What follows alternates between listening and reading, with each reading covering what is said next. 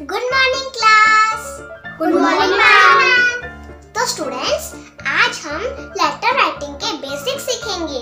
Ma'am letter writing के basics और letter writing तो मैंने तभी सीख ली थी जब मैं ग्रेड वन में था। लेट मी शो यू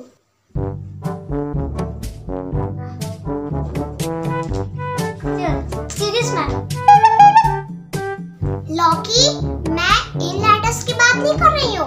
मैं उन लेटर्स की बात कर रही हूँ जो हम किसी को बात बताने के लिए लिखते हैं। पर मैम लेटर राइटिंग क्यों? लेटर लिखने के लिए तो हमारे पास फेसबुक और व्हाट्सएप है ना?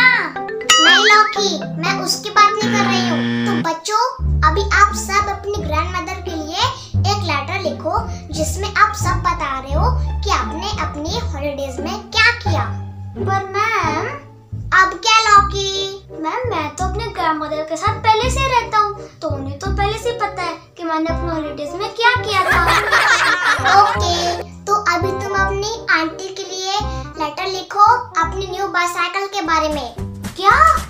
मुझे न्यू बाइसाइकिल मिल रही है। पर मैम आपको कैसे पता कि मुझे एक न्यू बाइसाइकिल मिल रही है? नहीं, लॉकी तुम्हें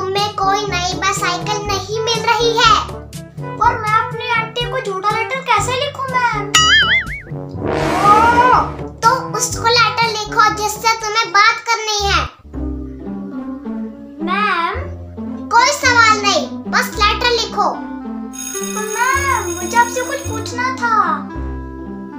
नो मोर क्वेश्चंस अभी उतना ही करो जितना मैंने कहा। Okay ma'am. स्टूडेंट्स आप अपने होमवर्क में लेटर लिखो और कल क्लास में आकर दिखाओ।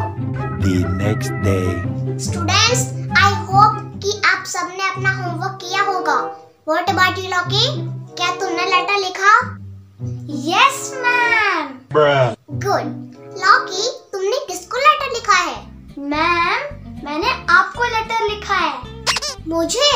यस मैम मैम आपने ही तो बोला था कि मुझे जिससे बात करनी है मैं उसको लेटर लिख सकता हूँ। तो मुझे आपसे बात करनी थी। चलो सुनाओ। Okay.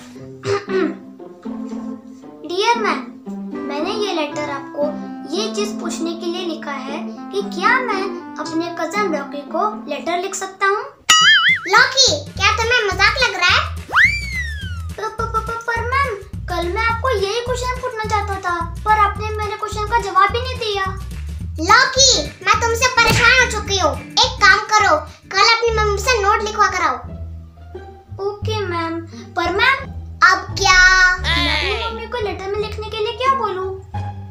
कि उन्होंने छुट्टियों में क्या किया? लॉकी